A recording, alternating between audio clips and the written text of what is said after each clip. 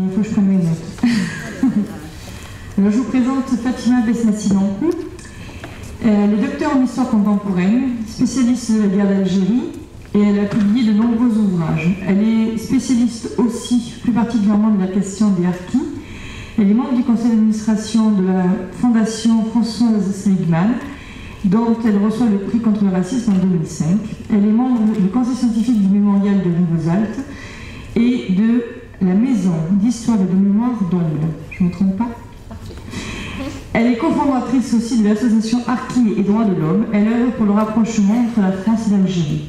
Je lui laisse la parole. Merci.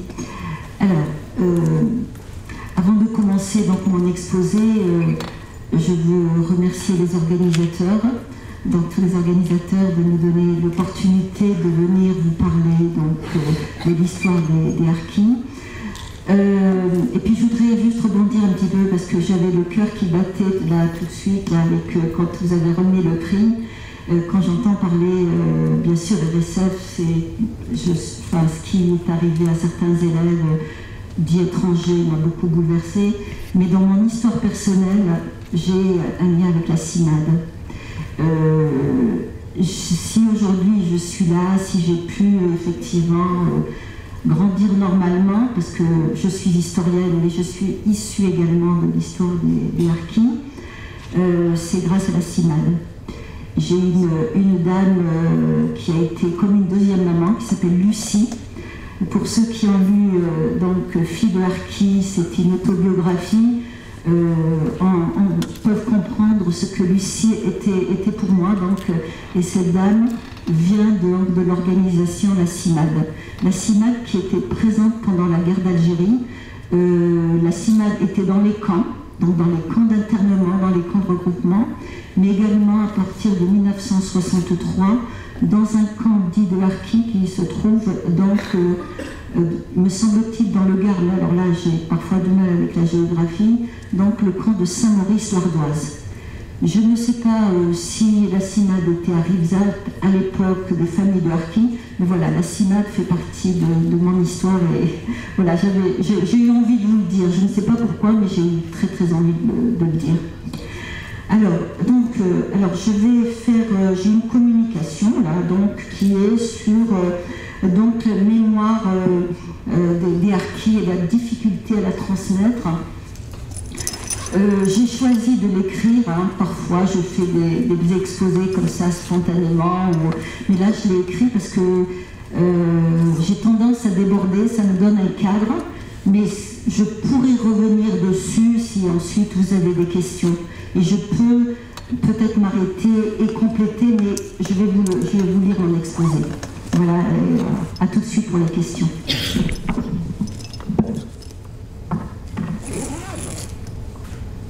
Donc, euh, mon intervention se déroulera en deux étapes. La première. Ah oui, excusez-moi, je vais reprendre. Sinon, je change de place.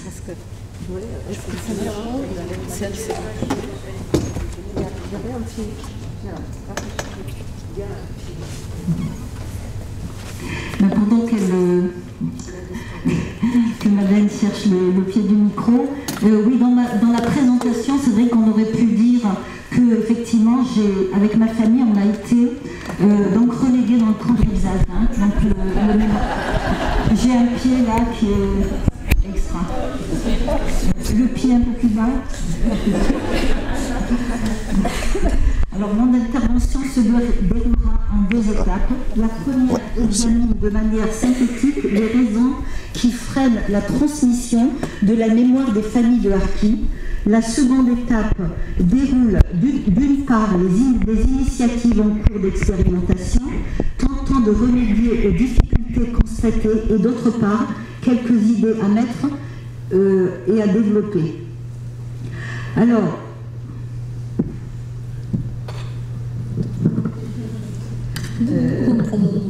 Voilà, au chômage, Nicole.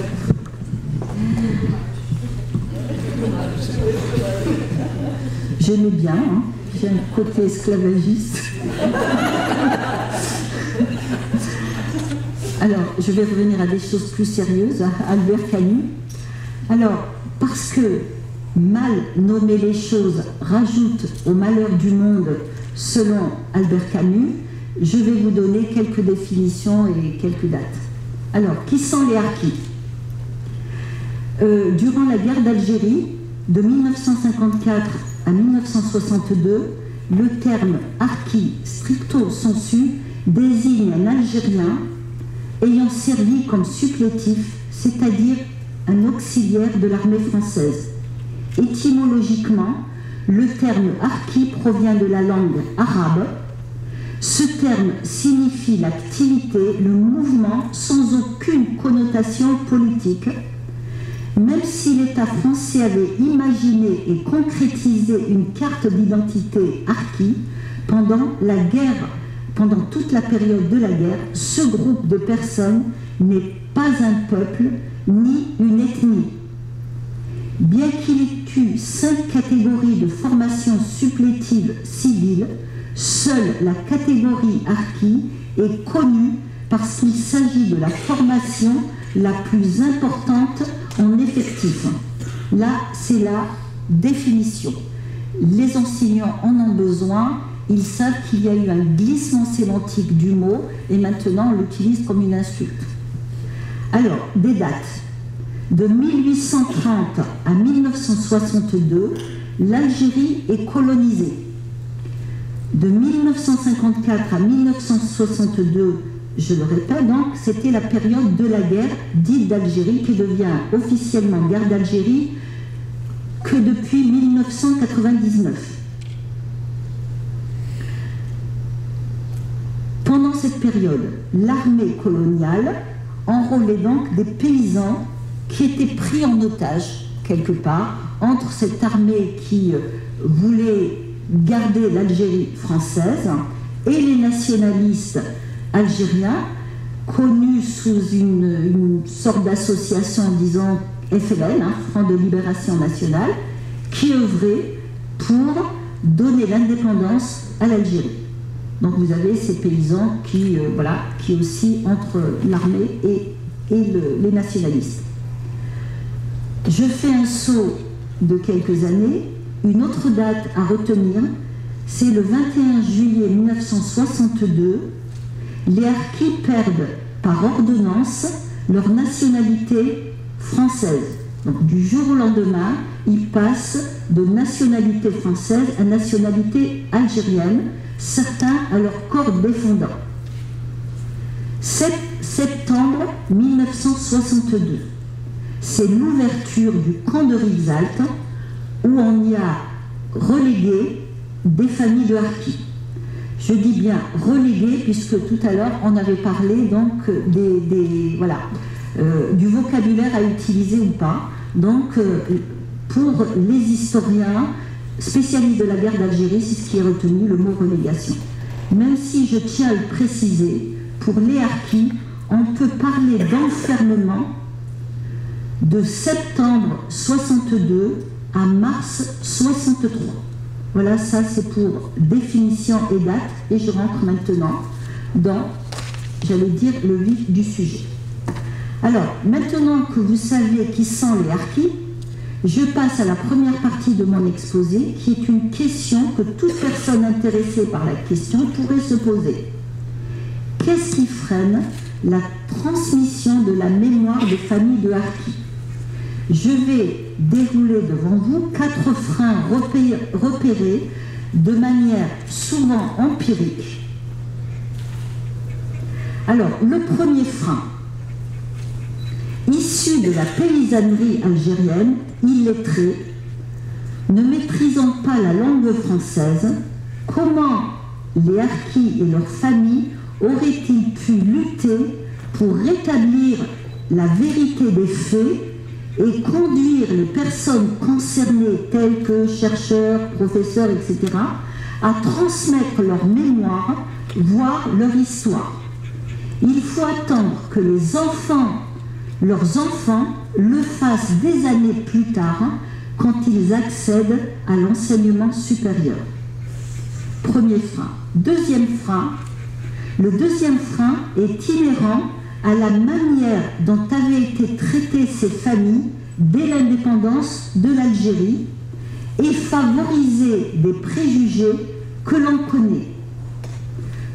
Donc, euh, euh, parmi, j'allais dire, la manière dont ils ont été traités, il y a eu donc, comme vous l'avez vu tout à l'heure, le retrait de leur nationalité française par le gouvernement français et le 25 juillet 1962, donc quatre jours après l'ordonnance qui leur retire cette nationalité, le président de la République dit officiellement au Conseil des ministres qu'ils ne peuvent pas avoir le titre de rapatriés, mais simplement de réfugiés. Vous voyez, c'est un lien avec l'actualité. Il dit d'eux, donc, qu'ils sont réfugiés et qu'ils ne retournent pas au pays de leur père. Tous ceux qui parviennent tout de même à arriver en France par la voie légale passent par des camps tels que ceux de Rivesaltes, où plus de 20 000 personnes y transitent, de Bias dans le Lot-et-Garonne, ou de Saint-Maurice, l'Ardoise dans le Gard, pour ne citer que cela. En tout, il y a eu cinq grands camps qu'on appelait des camps de transit comme celui de, de, de mais il y a eu près de 70 petits camps qui étaient répartis principalement dans le sud de la France. J'ai une carte de France qui représente ces camps, donc tout à l'heure je vous la présenterai. Et puis pour ceux qui ont envie d'avoir une photocopie de ces camps, j'ai fait quelques photocopies. Alors, nombre d'entre eux, donc de ces, euh, de, de ces familles de harkis, sont qualifiés par l'administration française d'inclassables, d'incasables, ou bien pour certains jusqu'à irrécupérables. En mai 1964, François Missoff, alors ministre des Rapatriés, parle de déchets existants dans ce camp lorsqu'il évoque des harkis encore présents au camp de Rivesaltes. Vous voyez, c'est une. Euh, voilà, c'est. Euh, je ne veux pas faire d'anachronisme, mais voilà. Donc vous imaginez euh, tous ces freins psychologiques. Quand vous êtes. vous avez l'étiquette de. Voilà, de déchets. Comment voulez-vous vous en sortir? Comment voulez-vous ensuite pouvoir vous battre? Ce que je viens de vous décrire de manière schématique va affaiblir moralement les familles et les précariser de manière durable. Un jour, un médecin qui a exercé dans le camp de Bias dans le Lot-et-Garonne m'a dit Vous mettez des gens derrière des fils barbelés et ils deviennent suspects. Voilà, donc les préjugés que portent les harkis et leurs enfants ont une origine. C'est pas par hasard. Donc, alors, aussi, les associations dites de harkis vont jusqu'à la fin des années 90 œuvrer pour faire fermer les camps et obtenir des logements décents, acquérir les mêmes droits que les familles d'origine européenne venant d'Algérie, demander du travail, des formations, etc.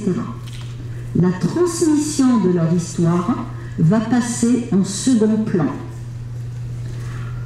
À titre d'exemple, il faut attendre l'année 2009 pour qu'un premier plan académique de formation, un PAF, pour les enseignants, vous savez donc, euh, ce que c'est, euh, pour donc un PAF soit organisé sur le, sujet à l'initiative d'enseignants d'une IPR de l'Académie de Versailles et de l'association Arki et Droits de l'Homme.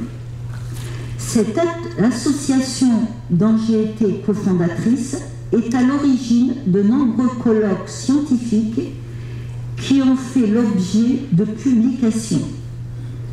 Concernant un des actes de colloque organisés par cette association, l'historienne Raphaël Branche écrira en 2011 qu'il offre aux lecteurs un tableau des dernières avancées historiographiques sur le sujet.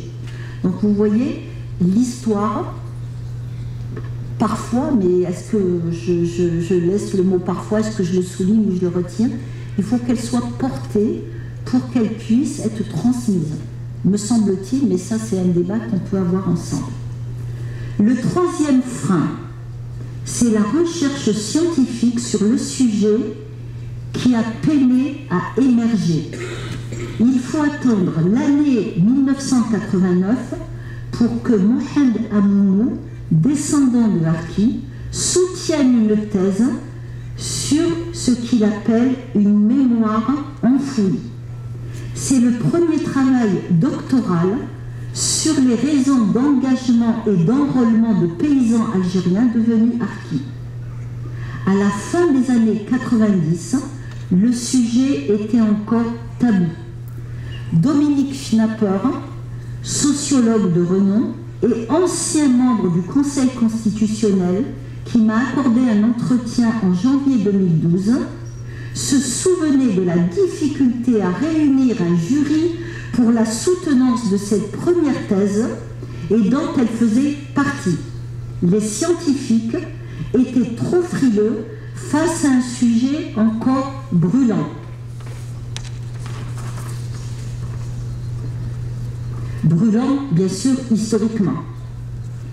Il est, rassurant de noter qu'à ce jour, les réticences des scientifiques sont levées. Des thèses, bien que rares, continuent à être écrites et soutenues.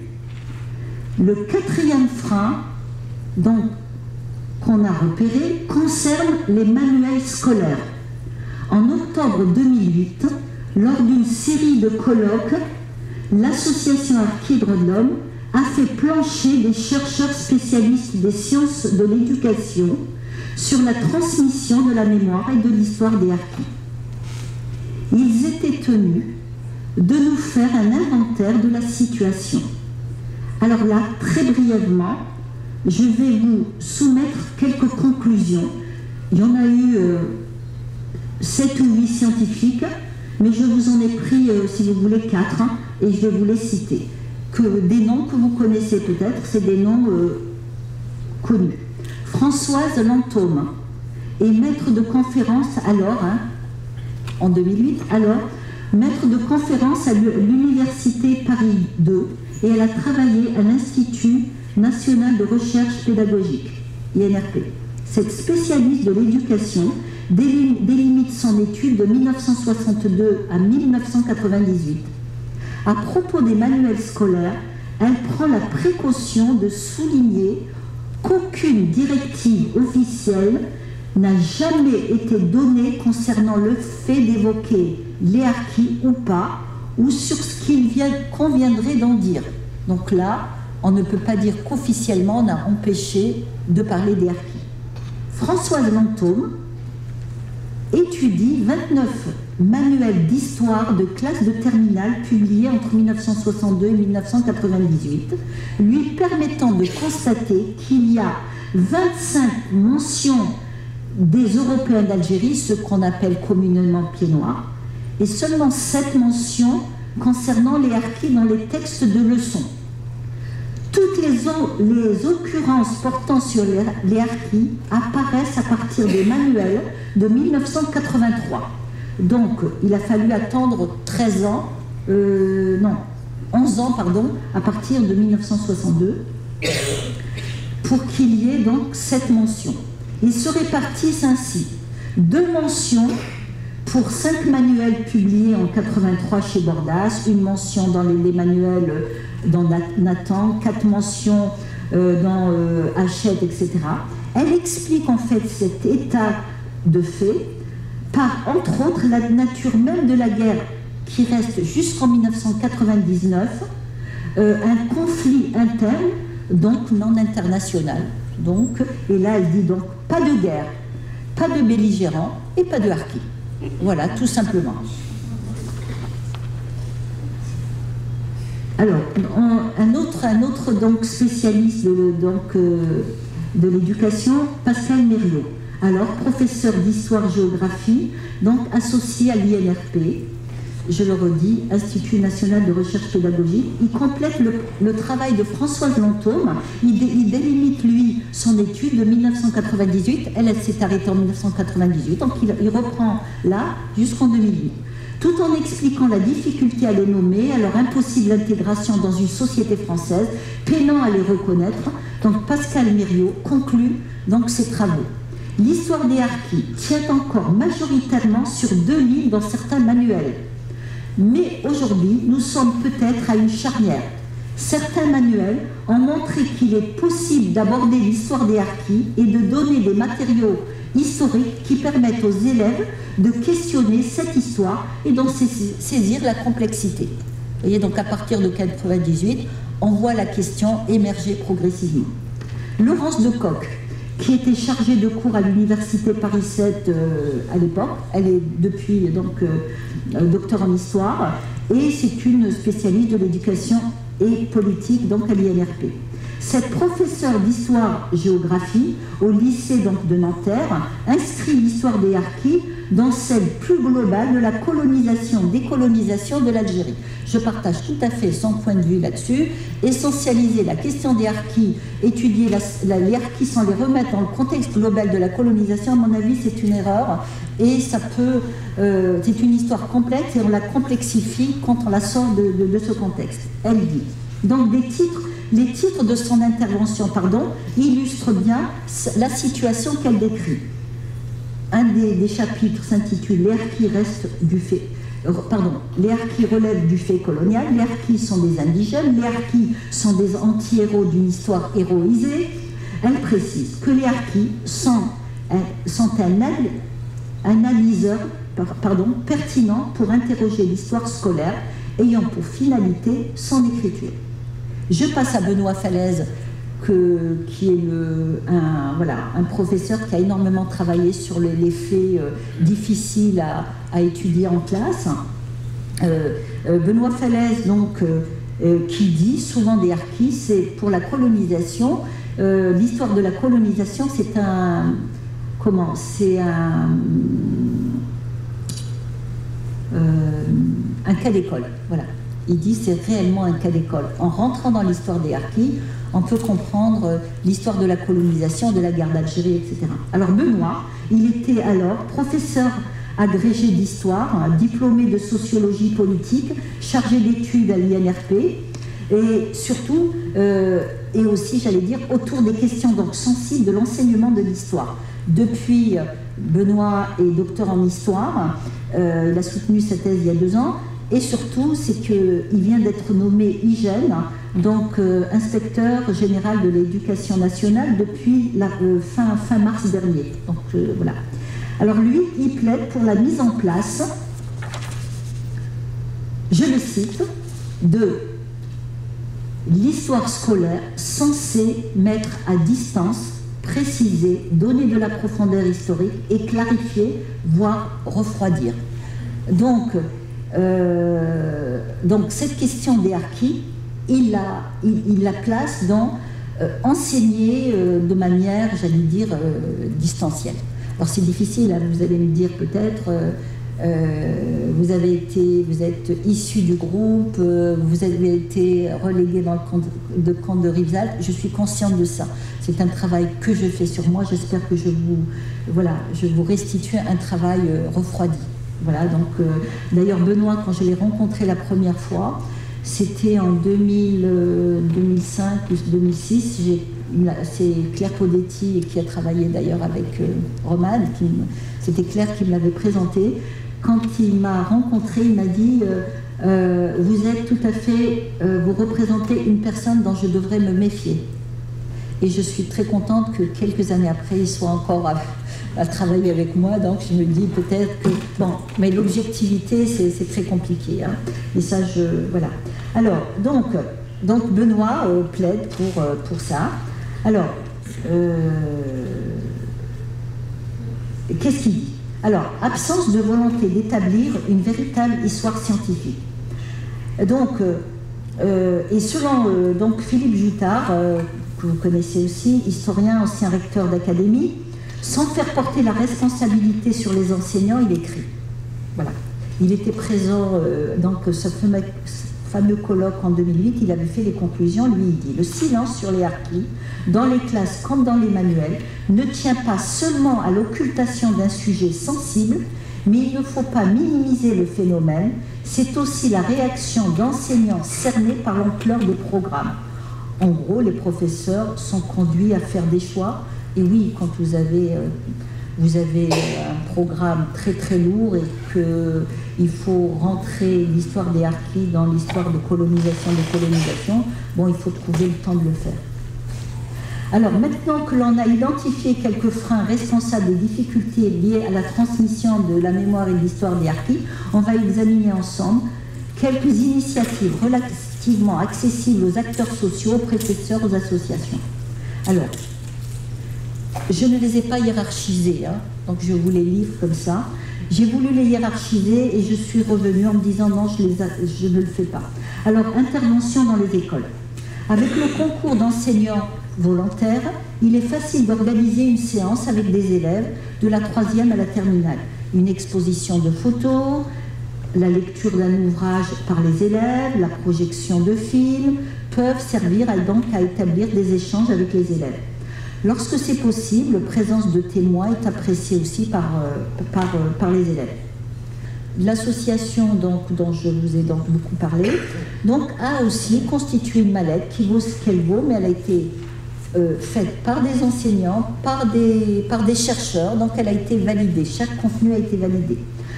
Dans le volet scolaire, la formation des professeurs est déterminante pour compléter leur connaissance, la connaissance du sujet. De 2009 à 2011, l'association Archi Droits de l'Homme a organisé quatre PAF donc dans l'Académie de Versailles. L'organisation de colloques, peut-être aussi une autre, manière de, de, travailler sur le sujet, de journées d'études. Ces activités qui demandent des moyens humains, matériels et financiers permettent aux participants de s'informer sur les dernières avancées historiographiques pardon, sur le sujet en abordant les points essentiels comme les raisons d'engagement, la fin de la guerre, leur abandon, la vie dans les camps en France, etc. Participation à des initiatives citoyennes hein, aussi. Je pense notamment à une semaine contre le racisme. C'est l'occasion aussi de parler de, des harkis. Parce que je pense sincèrement qu'on peut faire entrer le sujet, parce qu'on peut se poser la question pourquoi en 62, en 1962, on a retiré la nationalité française aux harkis, aux familles de harkis, et on ne l'a pas retiré aux autres, euh, j'allais dire, euh, euh, originaires d'Algérie, euh, qui peuvent être d'origine espagnole, maltaise, suisse, etc. On l'a retiré seulement aux Harkis, qui étaient donc originaires autochtones d'Algérie. Donc ça, effectivement, c'est quelque chose qu'on peut expliquer. Et euh, donc des associations participent à cette semaine contre le racisme, soit avec la LDH, SOS Racisme, la LICRA, etc. Alors, des participations à des salons littéraires pour le volet culturel. Des membres d'associations de, de ont été présents au rendez-vous de l'histoire de Blois, par exemple, au Festival du livre de Montsartou, au Salon du livre de, Paris. À Blois, un numéro spécial TDC, texte et documents pour la classe, a été distribué à 3000 élèves. C'était un numéro spécial qui a été fait sur le sujet des harkis. Donc pour ceux qui ont envie de savoir ce que c'est qu'un TDC, je pourrais vous en montrer euh, tout à l'heure, hein, si vous voulez qu'on en discute. Voilà. Donc alors, je continue. Comment est-ce qu'on peut continuer à faire connaître l'histoire des harkis Par la publication de livres, d'actes de colloques, d'articles sur la question, donc. Donc il y a eu des livres qui ont été faits, Les mères et les Shibani donc en 2006 hein, par Harki et Droits de l'Homme, Les Harkis dans la colonisation et ses suites, toujours pareil pour le mettre dans, le contexte de la colonisation. Les enfants aussi de Harki avec le concours de Boris Cyrulnik, hein, donc en 2010 on a publié un livre. Euh, et euh, avec, avec, donc euh, ce spécialiste, on avait déterminé ensemble des questions à poser aux descendants de Harki. Et une des questions, c'était qu'avez-vous fait de ce que l'on a fait de votre histoire? Donc en reprenant une, question qui est, qui est, connue. Voici donc quelques idées pouvant contribuer à transmettre l'histoire des harkis et ainsi inscrire dans la mémoire collective ce que Benoît Falaise définissait en 2008 comme les 100 grades de la mémoire nationale. Selon Françoise Lantôme, pour revenir à elle, parler des harkis en 1996 était perçu comme un risque de désordre dans la classe et un élément de complexité pour les enseignants. Qu'en est-il aujourd'hui?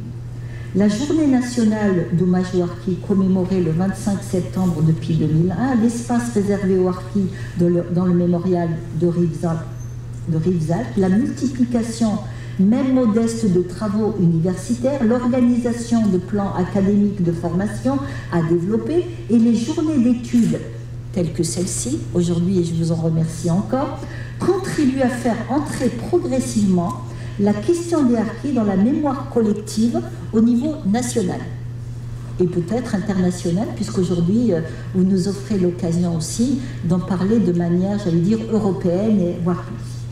Alors, je termine mon exposé par une phrase de Benoît Falaise. Je reviens encore là-dessus parce que j'ai énormément travaillé avec lui sur cette question. J'ai publié et euh, il m'a fait aussi avancer, hein, parce que euh, en avance, on, en apprend tous les jours. Moi, en étant là euh, bah, seulement depuis ce matin, je continue à apprendre. Alors, je le cite Ne pas dire le sort des harkis reviendrait à définir une non-histoire qui ne peut que faire perdurer, non pas seulement dans les familles concernées, mais également dans l'ensemble de la société française, une forme de blessure d'angoisse et d'injustice. L'angoisse de la non-représentation, l'angoisse de ce qui n'est pas dit, pas exprimé, renvoyé au non-dit de l'histoire, dans les mythifications qu'autorise toujours une mémoire traumatique et vécue comme clandestine. Je vous remercie.